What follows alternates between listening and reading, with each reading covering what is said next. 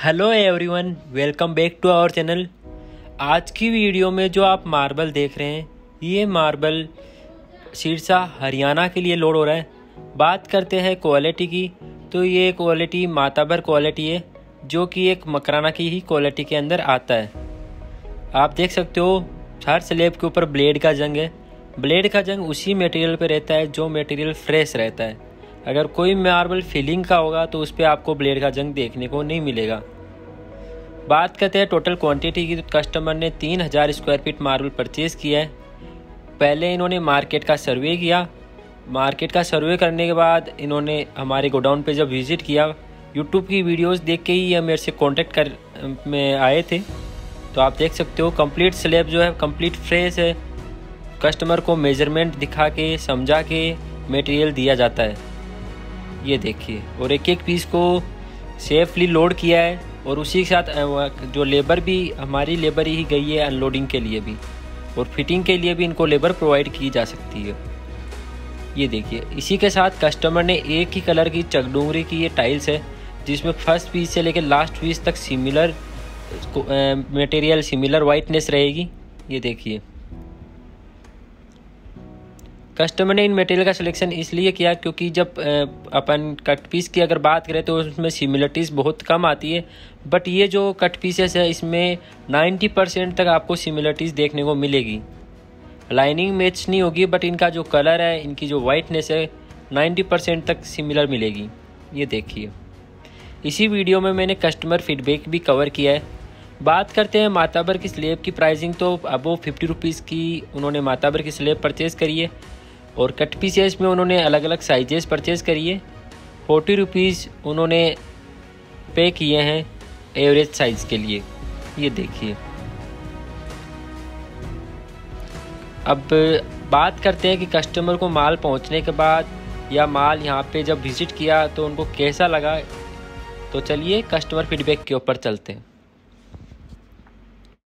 Hello everyone ये हमारे आज कस्टमर आए हुए हैं। सिरसा, हरियाणा से, जिनका मार्बल लोड हो चुका है और अब ये निकलने वाले हैं तो मैंने कहा एक बार जो सिरसा से हैं, जो या हरियाणा से मार्बल परचेज़ करने की सोच रहे हैं, बाना मार्बल से तो एक बार इनसे भी जानिए कि इनको मार्बल लेने के बाद कैसा लगा और मकराना विज़िट करने के बाद कैसा लगा। जी सर, बताइए। सभी भाइयों को नमस्कार।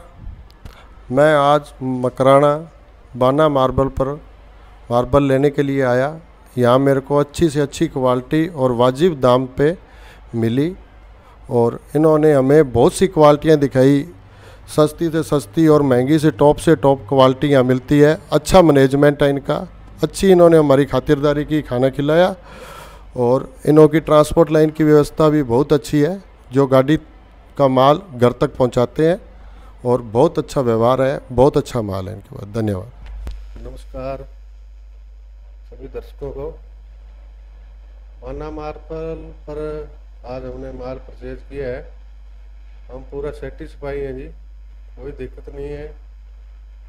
कोई लोडिंग वगैरह में कोई दिक्कत नहीं है। माल जो देंगे, वो बोल कर देंगे। ये फिलिंग का है या नॉन फिलिंग का है।